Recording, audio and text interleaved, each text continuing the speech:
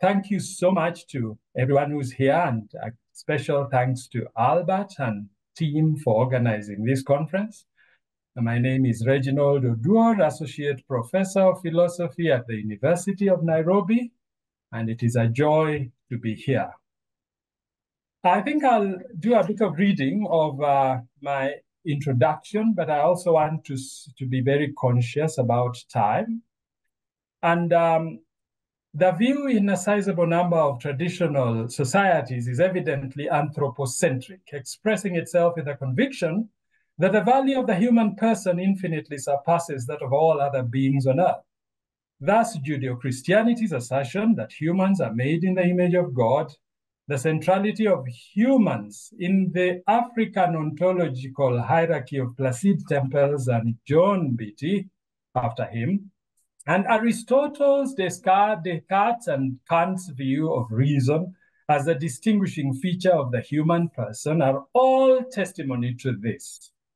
Even the Darwinian view of the human species as the most evolved and therefore the most dominant on the planet seems to somehow bear witness to this.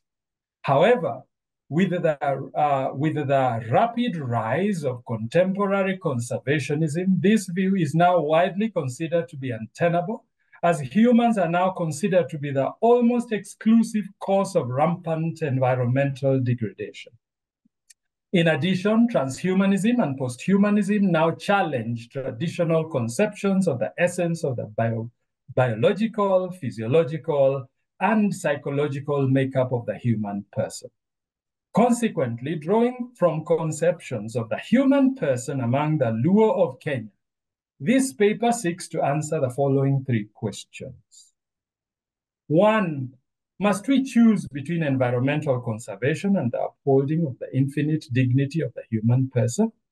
Two, how human is the current largely monopolar discourse on environmental conservation? And three, is it conceptually possible to reconfigure humanity and the non-human from an African perspective, or do such efforts merely constitute a conceptual imposition from corporatized Western environmentalism, transhumanism, and posthumanism? Those then are my questions. And uh, if I was to do this in a long way, I have an outline here, which I shall largely contravene. An introduction, then, uh, then there's a discussion on environmental conservation and or upholding the dignity of the human person. In this first section, first section, I was um, I, I wanted to talk about the fact that we have been presented with a supposed binary. That if we are to conserve the environment, we must abandon anthropocentrism. And my question is are those the only two options? Isn't that rather doctrinaire? And on what basis is this binary created? But the second um, main section ha has to do with the inhumanity of the current monopolar discourse on environmental conservation, by which I mean, now it is assumed, a lot of, uh, um, of discourses start as follows. The earth has been greatly degraded. We must act first to reverse the situation. Therefore, we must abandon anthropocentrism uh, and again, I ask, oh, really?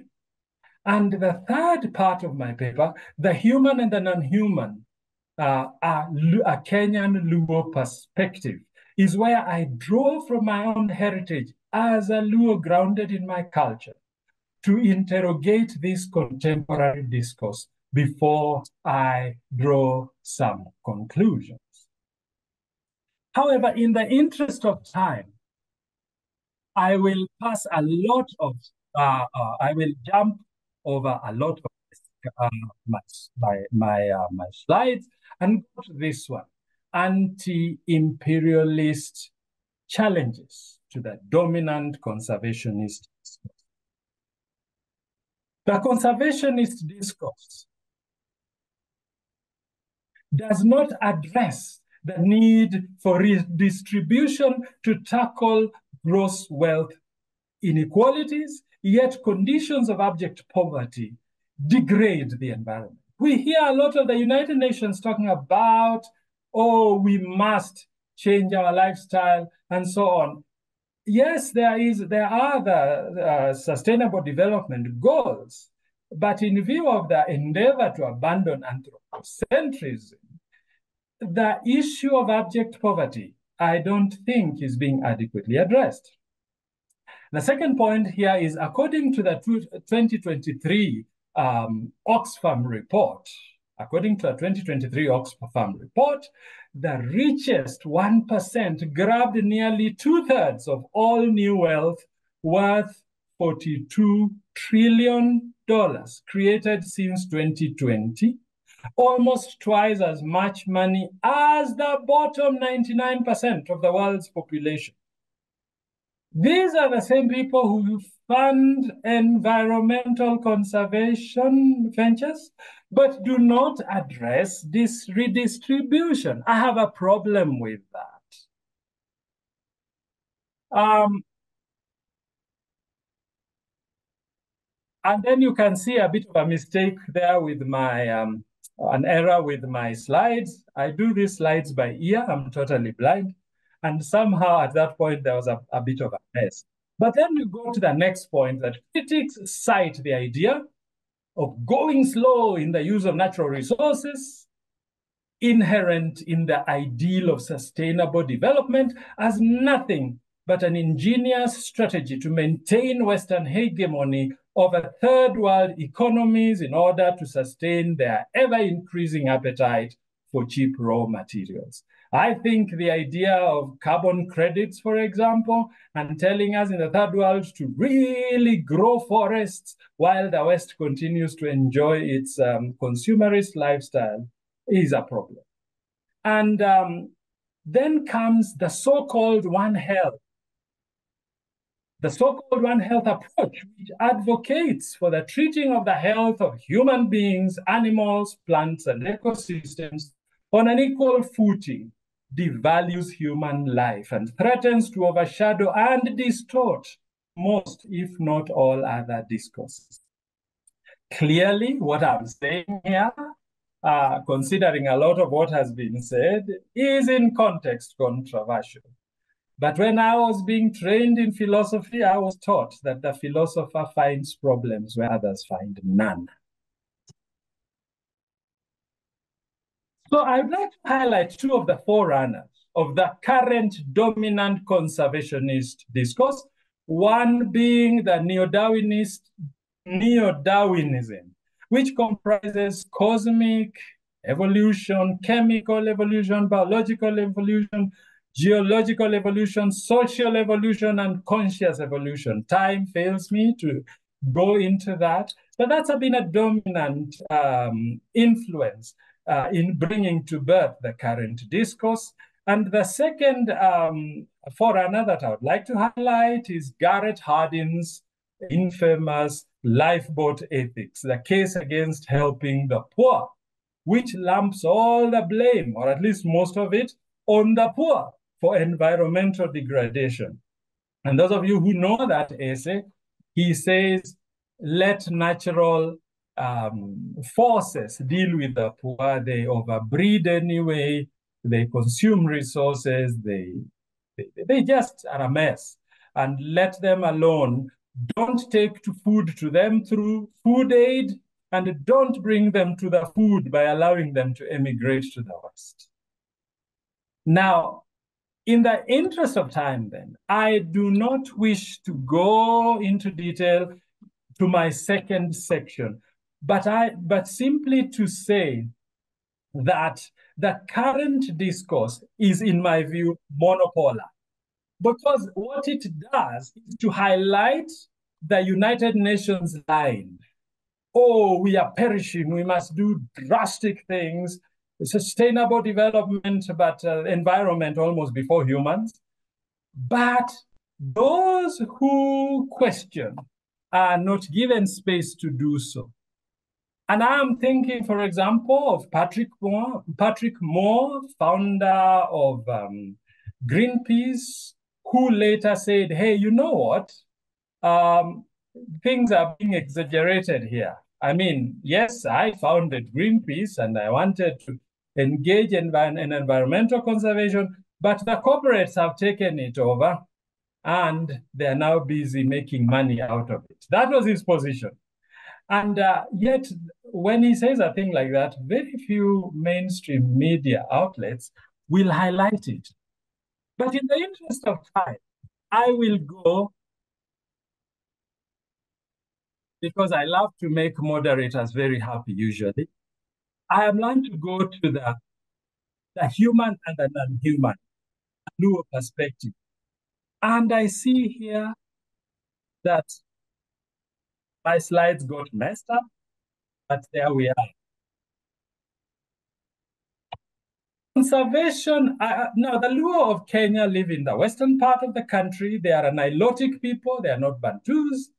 And I am grounded in that culture. So I want to share a few things about that culture. One, conservation of animals. They consider it to be, we, because I'm in the community, we consider it to be a moral duty. Killing of animals for sport is forbidden.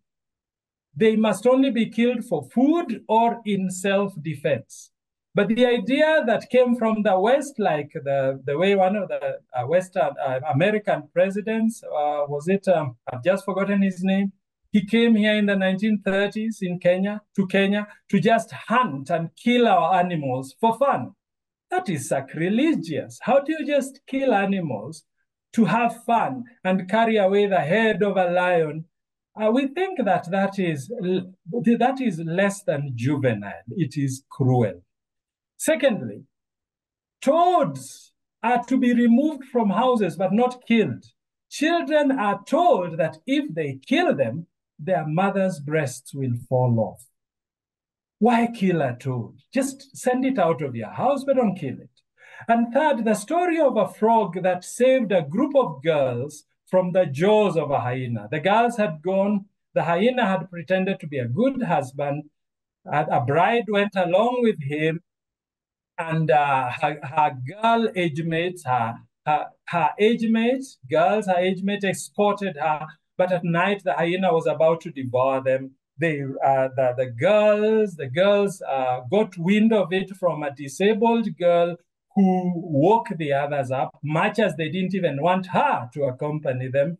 And they ran off. And when the hyena was about to catch them, they were at the river and the river swallowed all of them and spewed them across the river the other side and they escaped. Now, that kind of story is to ensure that frogs become are endeared to the children so that they don't harm. And then the eating of doves, forbidden because they breed very slowly. So the Luo eat a lot of birds, weaver birds and a few other grain-eating birds. But they'll tell you don't eat the dove and it's because it breeds very slowly. And so the Luo are very conscious of conservation.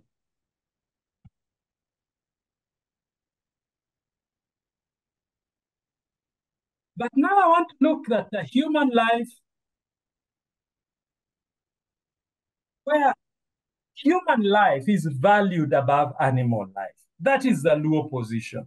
I know we've been told in this conference that Africans, oh, they see, you know, animals as planet mates and they are very nice to them. But I want to give a few reasons, a few indicators that in Luo thought, human life is valued above animal life. One, the ontological hierarchy that is spoken a lot about is uh, it was presented uh, in the Bantu context. God, ancestors, recently departed, John Mbiti calls them the living dead, then the living humans, animals, plants, non-living things. That's a hierarchy. And it is true that this hierarchy exists. I mean, secondly, animal sacrifice in place of human sacrifice tells us that humans are considered to be of more value than animals. That's why animals are killed in place of humans. And thirdly, animals for bridewealth is not a compensation. Human life is much more valuable than countless animals. So among the Luo, whenever we meet our brothers-in-law, we tell them, you owe me and you can never fully pay. The cows you brought cannot have the same value as our sister whom we gave to you to wife. So you will always owe me, and whenever we meet, you need to pay a little more, and you will never complete the pay because a human being is infinitely much more valuable than any number of cows you can bring. So we just give you the girl as a gift. She is too precious to be compared to the few animals you bring. Fourthly, no funeral rites for animals. If they were of, same, of the same value, there would be funeral, funeral rites for them. And fifth, no belief in the afterlife for animals. And there is more where that came from. No, no genealogies of animals. Is no record that this cow begat this other one. And seven, no veneration for dead animals akin to veneration for the living dead and the long departed. Those are highly respected, but we never hear about, oh, there was a cow that was here a few years ago, and oh, let us give it a bit of libation. There's nothing like that. And the eighth one, insults. Human beings insult each other in Luo community by saying you're a cow, you're a dog, that again shows that when you're called a cow or a dog, you're being demeaned. And ninthly, animals do not have personhood, as described by Ifeanyi Menkiti and others. I do not know of any suggestion of personhood uh, of animals in the Luo community. And so I want to get to my conclusion. My conclusion is rather lengthy, but I will do it very fast, very fast. The first point I want to, me, to make here is the need for authenticity in African philosophy. In African religions, in Western scholarship, Okot p'Bitek um, lamented that Western scholarship on African religions imposes Western concepts on African religions. If there is a supreme God, in, uh, in the West, there must be here. You see? Secondly, in African philosophy, myth, and reality, Paulin J. Hountondji protested that um, ethnophilosophy is so amorphous that any scholar can attribute his or her own thoughts to African worldviews. He says, you know, um, Tempels can say that Africans have um, uh, vital power, they believe in vital power. Another scholar can disagree. There is no way to settle the quarrel. And then, and the third point, in decolonizing African philosophy and religion, Kwasi Wiredu advised that to determine the authenticity of a concept claimed to be African, it should be translatable into a language on the continent. And so I go to my proposed solutions. What is the solution out of this? What are, what are the proposed remedies?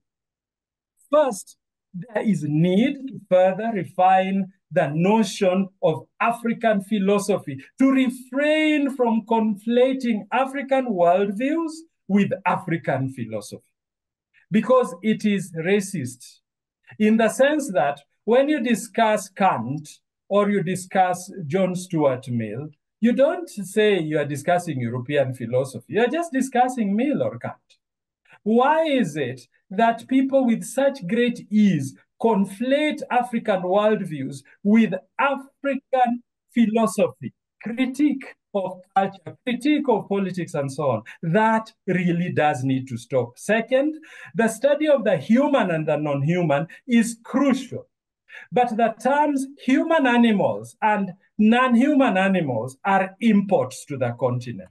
They do not make sense in the African worldviews I know, and I will be explaining it shortly. Third, Following Kwasi Wiredu, there is need to distinguish philosophy as critical discourse from philosophy as ideology. Right now, that distinction is becoming very vague because philosophers have embraced discourses of the United Nations and are now articulating them rather than interrogating them. The fourth point here is ultimately the decolonization of philosophy in Africa will involve a much greater readiness to hold and express highly divergent, even controversial views to challenge dominant Western driven narratives. Fifth, applying I am because we are to animals is a misrepresentation of Mbiti's sound representation of kinship.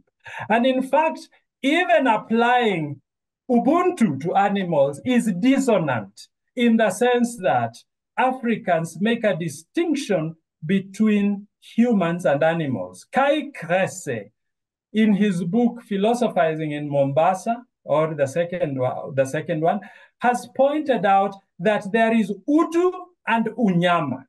Utu is humanness, and, and Unyama is uh, being, I, I wanted to say bestiality, but that can mean something totally different, but has to do with when one behaves like an animal, we say, huo ni unyama. That is be, behaving like an animal, because there is that contrast between the human and the animal. I'm just about done. There is urgent need to refrain from superimposing contemporary globalized conservationist ideology onto thought systems and worldviews of the peoples of Africa. Seventh, following Wiredu's advice to translate concepts claimed to be African into indigenous languages, I have tried to translate the key words of this conference into my mother tongue, the Luo. And here are the results. Le Mokdano meaning non-human animal. This is tautological because animal refers to a. I, I meant to say here, le mokdano, non-human animal. This is tautological because animal refers to a human, a, a non-human living, a, a, it should have been a living thing, remove that human there, that was an error. It refers to a living thing which is not a plant, which is not a plant. So if you have an animal, it is a living thing which is not a human being and it is not a plant. That is an animal. It is not a living thing. Uh, sorry, it's not a plant. It is not a human being. Therefore, it is a an animal. Okay, that is how the Luo would see that. So the idea of a non-human animal does not make sense in the linguistic scheme of the Luo. Secondly, dano ma le, a human animal. Help. What a kind of, what kind of thing is that? We would use that phrase when a person has behaved antisocially. Maybe you raped, whether a person has raped a child or something. We say that one is a human animal. And so I, I, I come to a conclusion, and it is this. The title of this conference is The Non-Human Animal in African Philosophy, a reconfiguration of humanity and the non-human from an African perspective. The title presumes at least two points that themselves de deserve serious debate. A, that the human and the non-human require a reconfiguration. B, that the African perspective, whatever that is, is amenable to the reconfiguration of the human and the non-human in line with the current dominant globalist conservationist discourse. To proceed as though these two points were self-evident is to impose a contemporary Western-driven corporatized conservationist narrative onto a whole continent with its hundreds of diverse cultures and is in fact the continuation of Western imperialist epistemicide in the neocolonial era. If this is a bit hard, I apologize and thank you for your attention.